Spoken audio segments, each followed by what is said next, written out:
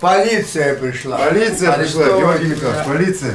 Люди в форме в эту квартиру заходят часто, благо повод всегда хороший. В этот раз принесли подарки для бывшего коллеги. Георгий Михайлович после войны работал следователем, а после сам возглавлял следственное отделение Центрального РУВД.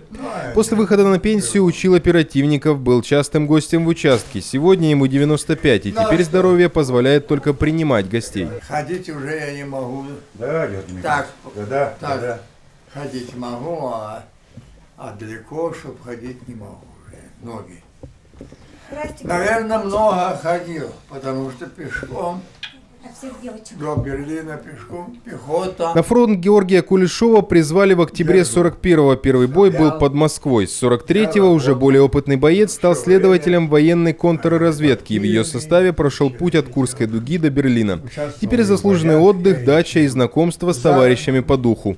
Вот ваш преемник. Знакомый. Это Начальник. начальник следствия, такой же, как и вы. Да. Должность такая же. Да. Первый, я крайний. Да. Так вот, мы до того стараемся быть похожими на вас. Значит, у него сегодня, у него сегодня тоже день рождения. Он. Да.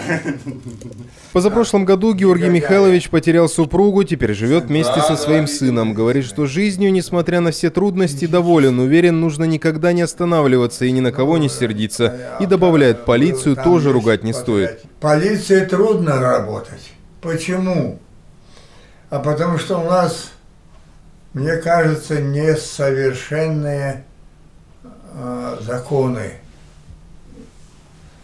Почему? Потому что, ведь представь себе, раньше было убийство, это было единицы, это случаи были. Так?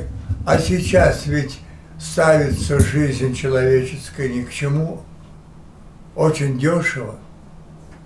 Везде убивают, все разборки, все это дело, понимаете.